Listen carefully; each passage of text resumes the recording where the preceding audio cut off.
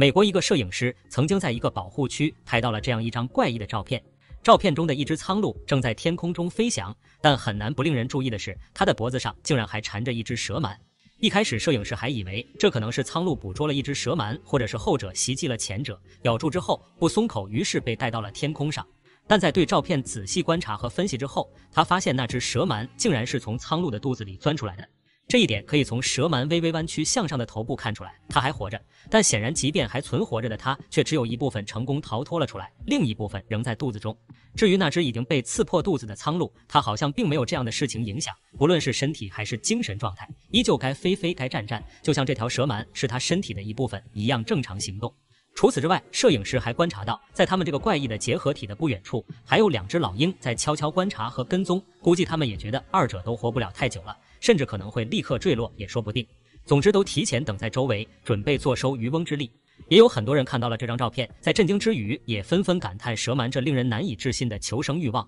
一般的动物只要被吞下肚，那么存活的几率是几乎没有的。那这究竟是一种怎样的生物？为什么可以做到，即便被生吞下肚，也要逃出升天？蛇鳗被苍鹭活吞后，竟然破肚而出，蛇鳗的求生欲有多强？事实上，对于蛇鳗来说，这样的行为完全是它们的本能。若是被其他的动物生吞进了口中，那么它们依旧会做这样的事情。首先要明白的是，尽管蛇鳗长得很像蛇，但其实是鱼的一种，一般生活在一些热带或者是亚热带的海洋里。在海水中，它们也主要生活在低层区域，一般以一些底栖生物为食。属于肉食性的鱼类，多数时候就会躲在海底的泥沙之中，等到路过的小虾、小鱼出现，就会捕食它们。而之所以很多人认为它们是蛇，是因为它们和蛇真的长得很相似，但它们的尾部较为尖锐，所以它们就可以使用尾巴在海底向后打洞，以形成可以用来保护自己的保护穴。于是它们的打洞技术相当一流。除了打洞之外，它们的尾巴还有一个更为重要的作用，它们经常会被掠食者生吞下肚，但这时它们可能不会立即死亡，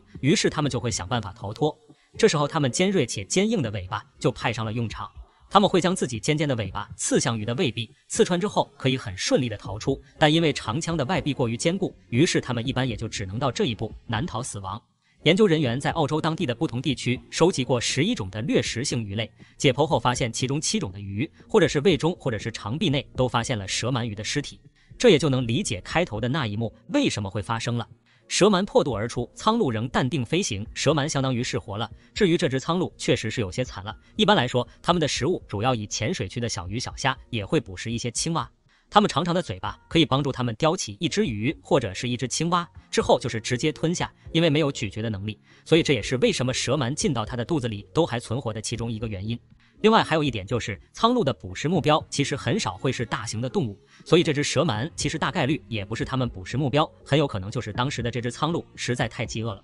于是，在没办法的情况下吞下了这样一只自己也不喜欢的动物。那么现在看来，二者谁算是赢了呢？蛇鳗能否成功逃脱？苍鹭会不会因为这个巨大的窗口有什么生命危险呢？动物专家们在经过分析之后，也给出了猜测。所说这只蛇鳗成功的钻出了苍鹭的肚子，但是从粘片中也能看出来，还有一半的身体留在后者的肚子里面，所以也没办法判断这它是已经没有力气了，亦或是另一半已经开始腐烂了。反观另一方，即使是身体上被破出了一个口子，苍鹭仍能完成正常的飞行，所以大概率这个洞算不上是什么致命伤。但其实不论如何，蛇鳗的结果可能好不到哪去，毕竟属于一种鱼类，离开了水就很难存活，除非逃出升天的时候正好掉落在水中。好了，本期视频到这里就结束了。喜欢的小伙伴记得点赞关注哦，我们下期视频再见。